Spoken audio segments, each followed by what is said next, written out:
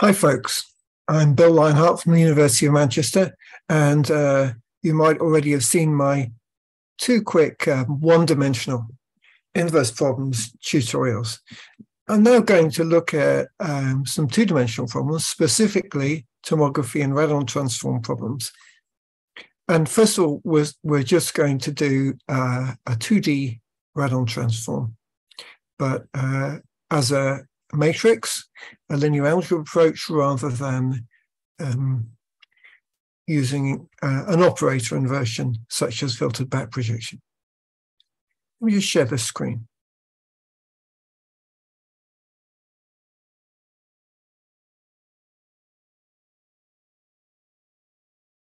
Okay, so we're running MATLAB here. And this is a Mat MATLAB live script. Um, link to it we put in the notes. So you need to download AirTools, which you can get off GitHub here. AirTools 2 um, as a MATLAB library for illustrating algebraic approaches to uh, two-dimensional tomography problems. You have to run AirTools 2 setup to get the paths all set up. And um, you can see the link at the bottom in, in the references to the uh, to the paper. Okay, so following um, examples in AirTools, we set up a problem using Parallel Tomo. Works very similar to uh, to Radon in the MATLAB um, toolbox, but what it gives you instead of just calculating the Radon transform, it gives you a matrix A that implements the Radon transform.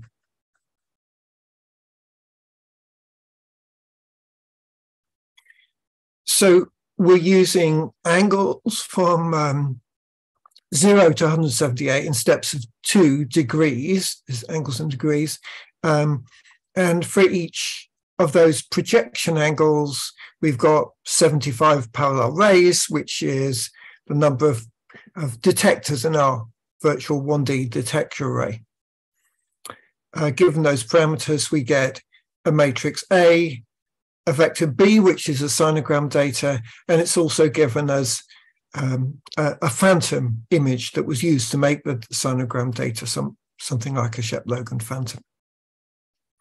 So I'll just do run section on that to check that it's run, and then um, Yep, it's running. It has this little icon to say it's running. okay, it's done. And then um, the next section just reproduces this as a grayscale image. You can change the parameters if you want. Okay, so what happens if we just try solving with backslash, which is the least squares operator? So a backslash b gives gives me an x, uh, an image vector. Um, you'll notice that um, when I hover over A, it's actually a sparse matrix. I reshape it to an n by n matrix and then use image sc to display it. Check it's got the right thing.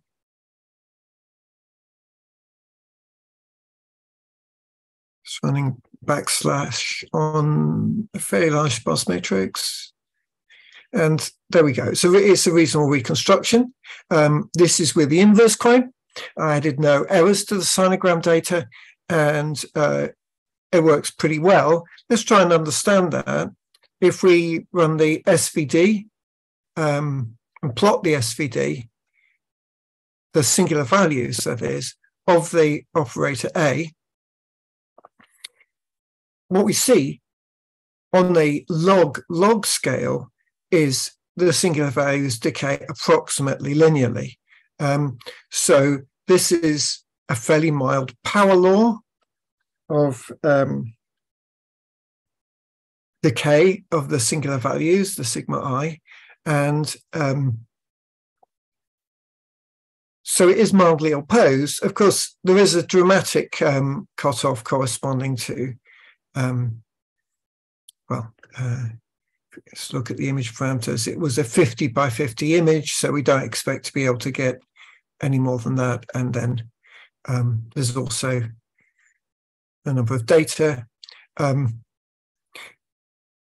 in this case, after it gets, you know, a steep fall like that, we probably don't don't trust it very much. Um, anyway, the condition number's not too bad, and so with no noise, it works okay. Now let's add a little bit of noise. So um, B noise, is B plus uh, 0.1% of a Gaussian random variable same size as B multiplied by the norm of B so that um, it's scaled in some sensible way that we can compare with the, the values in B. Actually, I think the image vector is between 0 and 1 uh, in the pixel values, but of course it depends on some other scale factors that are used in the size. Okay, so um, I've already run that one. I'll just just run it again. It displays the um, the noisy version, and um, you can see if if you look closely, at least on your own screen, uh, possibly want to blow it up, that the background that should be zero because um, there's nothing there is speckled, and that's those speckles also appear in in the sinogram. If we then try reconstructing that using just the backslash operator.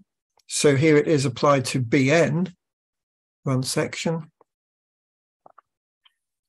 It's great until we get the, the answer coming out. Blah, blah, blah, comes.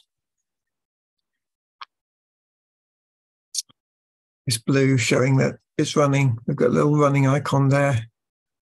Okay, so it does get the outside shape, um, at least, but this, and, and, I think maybe you can see something of those ellipses, but it's mainly swamped by by noise.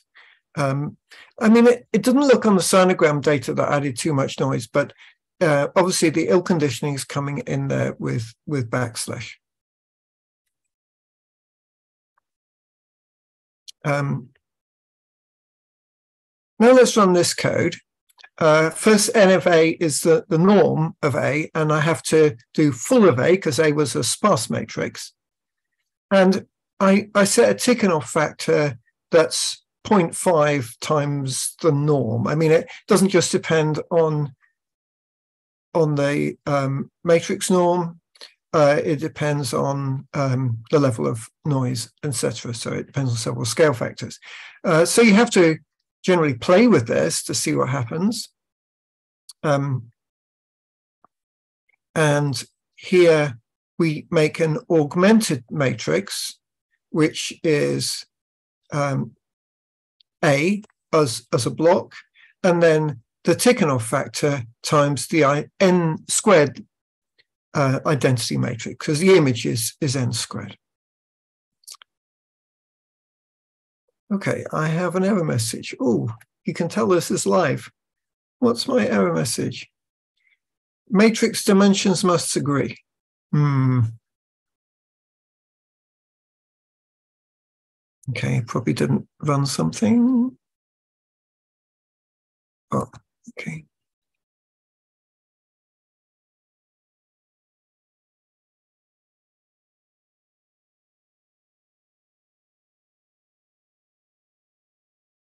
check that. And that.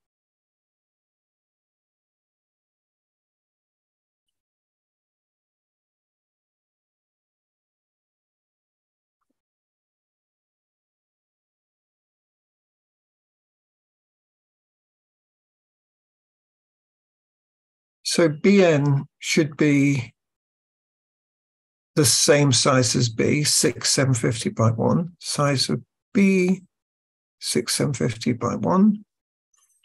Um, the size of A, oh, it's hard to tell because it's sparse. um,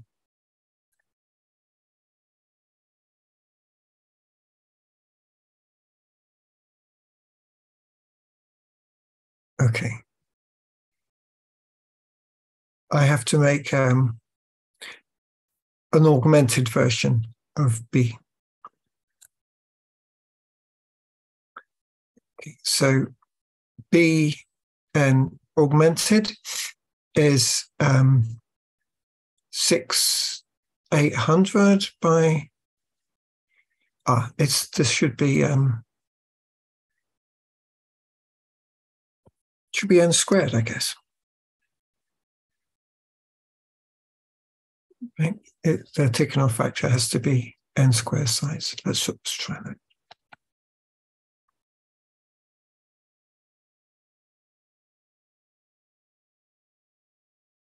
Okay, it's running again.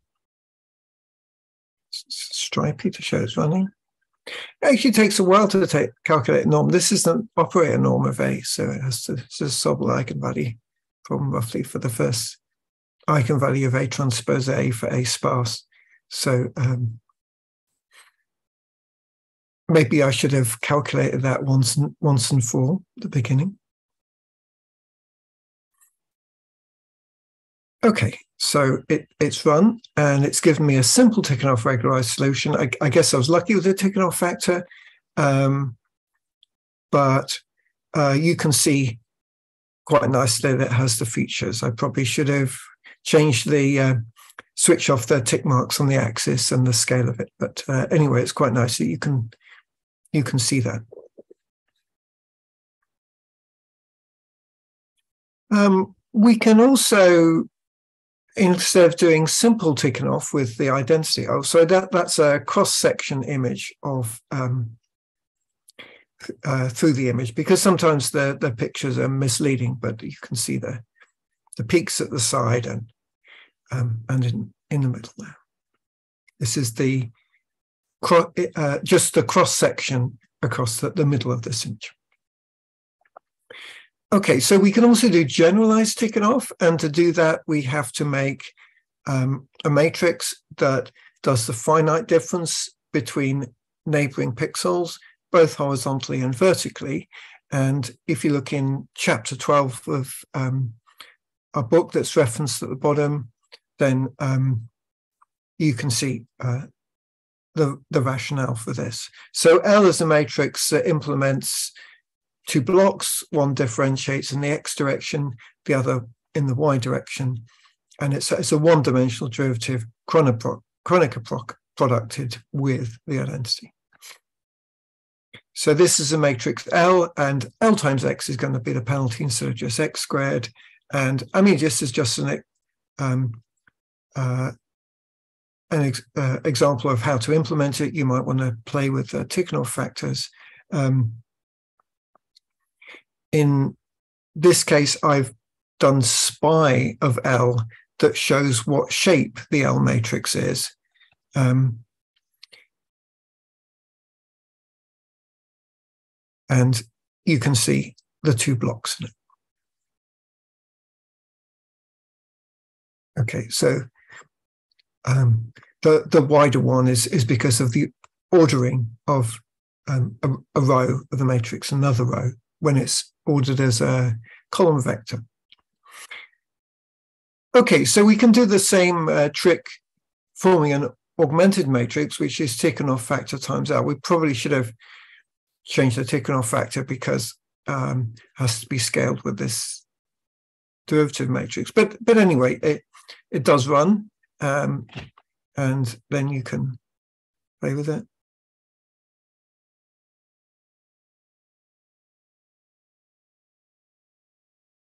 Oh, still still running this one.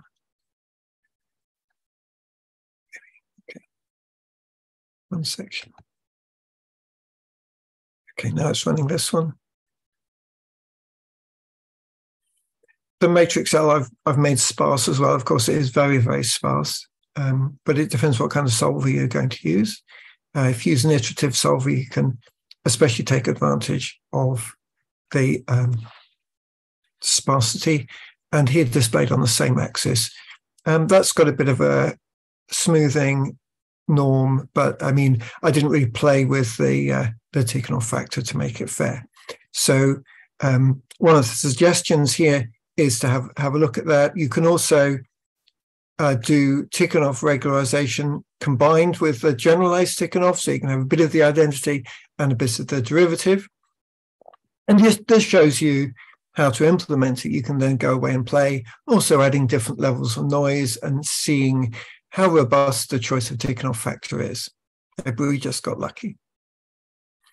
And also, you can look at a times x and see how close it is to b to see how well it fits the data because Tikhonov regularization is a compromise between fitting the data um, and satisfying the regularization penalty function. So you notice in my office, the lights go off if we don't move too much. So that's what happened just then. Okay, so the book I mentioned, um, Hansen, Jorgensen, Lionheart, uh, and and our friends who wrote some of the chapters, computed tomography algorithms insight just enough theory. Um, so you can have a look at, at that for more details on regularization. Um, and there's a academic reference for the AirTools manual, but you download it from the GitHub. It's fairly simple. You just unzip it. Okay. Stop the share and um, that's it for now. That was just a simple bit of regularization, really set up so that you can you can play with Tikhonov regularization. Um, you can do bigger problems if you want, applying iterative methods to those augmented sparse matrices. Um, so next up, we're going to look a little bit more at the singular value decomposition using the same AirTools to make the matrix.